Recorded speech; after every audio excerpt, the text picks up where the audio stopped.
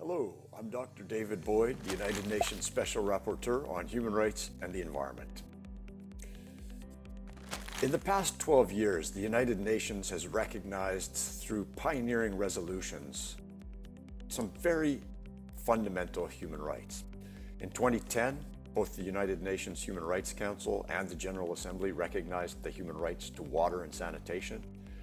And in 2021, the Human Rights Council recognized the right to a clean, healthy, and sustainable environment, which was confirmed by the General Assembly in July of 2022. It's fundamentally important to have these rights not only recognized by the United, by the United Nations, but also incorporated into regional and domestic legal systems. And this is because human rights have transformative potential to really change our societies and to catalyze action and enable people to hold governments accountable to their commitments. But this requires the, the rights to be recognized. And so we've seen over the course of the past 12 years the impacts of recognizing the rights to water and sanitation. We've seen countries uh, as diverse as Costa Rica, Fiji, Mexico, and Tunisia uh, add these rights to their constitutions. We've seen countries change their legislation to protect the rights to water and sanitation. And most importantly, we've seen countries increase the priority given to fulfilling these fundamental human rights for people who are often in vulnerable situations. And the great hope is that the recent recognition by the UN of the right to a clean, healthy, and sustainable environment will have a similar impact at the constitutional, legislative levels, and most importantly, improving people's quality of lives. There is a global water crisis. You know, people often talk about the triple planetary crisis of the climate emergency, the collapse of biodiversity, and pervasive toxic pollution. But I would argue that there's a fourth crisis, which involves water. There are 2 billion people who lack access to safely managed drinking water. 3 billion people who are currently facing water stress or water shortages, and 4 billion people, half of humanity, that lacks access to safely managed sanitation.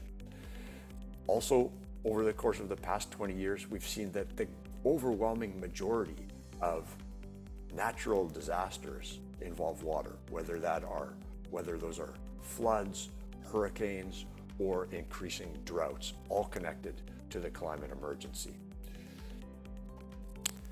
In terms of environmental injustices, we live in a world where the global economy is based on the exploitation of people and the exploitation of nature, including aquatic ecosystems.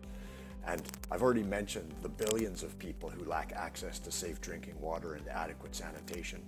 But on a more, uh, and I must say, the majority of those people do live in low income nations in Africa, in Asia, and it is fundamentally important that governments there find the human, financial, and institutional resources necessary to fulfill their human rights obligations and to deliver those fundamental services to their people. But environmental injustices happen everywhere.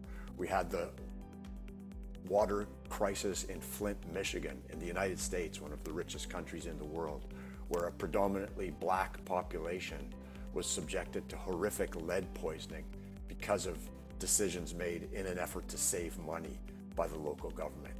In Canada, there are still dozens of Indigenous communities that lack access to safe drinking water and adequate sanitation. In Guadeloupe and Martinique, the groundwater is horrifically contaminated with pesticides that are very difficult to remove. And so the majority of people in those French protectorates of Guadeloupe and Martinique lack access to safe drinking water. These are environmental injustices, situations where people in vulnerable or marginalized situations are disproportionately affected by these environmental challenges facing the waters, facing the water system.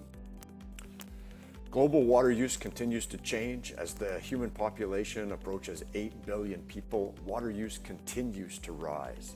Humanity now uh, appropriates approximately half of all of the freshwater flows on Earth for our uses. The overwhelming majority is used for agriculture, but I think it's also really important to highlight the inequalities and inequities in water use. People living in wealthy countries in the global north use an immense amount of water. And often that water use is disguised somewhat by the fact that many of the items consumed by wealthy consumers are actually produced or grown in the global south or in middle income and low income countries.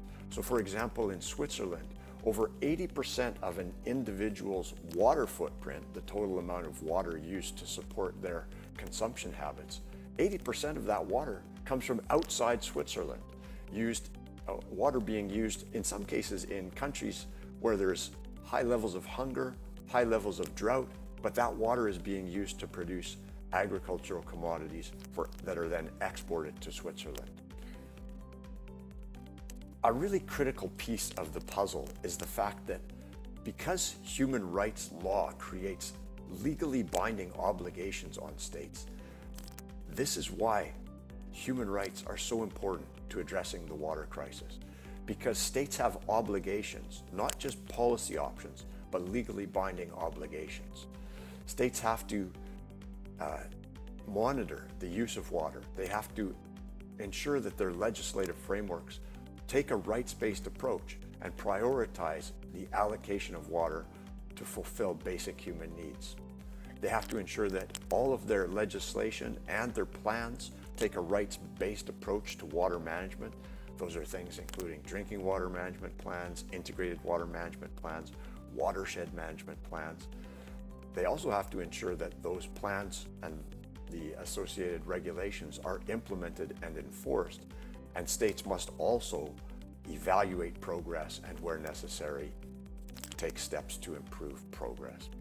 And at each of these five steps that I've mentioned, there's two additional obligations on states. One is to engage the public to ensure that the public and all members of the public have access to relevant information about water, to ensure that all of the members of the public have the ability to participate in decision making about water supplies, and that people have access to justice with effective remedies when their rights to water, sanitation, and a clean, healthy, and sustainable environment are being threatened or violated. And the, the other state obligation is to ensure that there is adequate human, financial, and institutional capacity to implement the regulations and the plans that the state has developed. And the good news is that we have solutions to these challenges. We have solutions to ensure people's rights to a safe drinking water, to adequate sanitation, and to a clean, healthy, and sustainable environment. I've already talked about the obligations that states face, but there are all kinds of good practices which have been chronicled in my reports and the reports of the Special Rapporteur on the Rights to Water and Sanitation. Things like um, pro-poverty water tariffs, where everyone who pays for their water pays a slight increment that is then used to subsidize the water supply for those who couldn't otherwise afford it. Another good practice, which I really appreciate, is uh, comes from Brazil, from from Bolivia, sorry, where uh, indigenous communities uh, upstream in watersheds are actually paid again by the use of a modest increment on people's water bills. Those upstream indigenous communities are paid to take care of the watersheds, that is to protect water quality. This is actually a, a cheaper solution than investing in the expensive technology to, uh, to clean, filter, and treat water.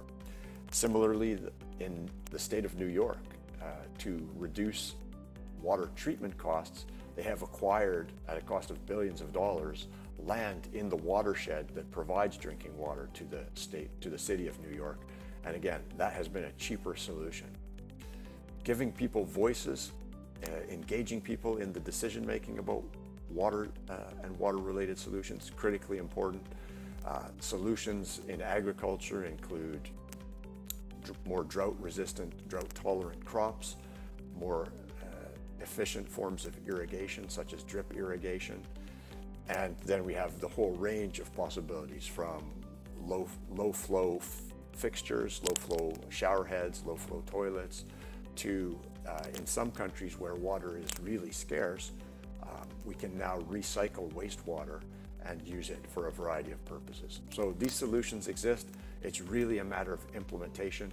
And as I said, the beauty of taking a rights-based approach to the global water crisis is that it empowers people to hold governments and businesses accountable to their obligations and responsibilities. Ladies and gentlemen, water makes up 70% of the human body, 85% of the human brain. It's absolutely critical to human survival. And so it's incumbent upon us to do a better job of taking care of this vital source of natural wealth and human well-being. Thank you very much.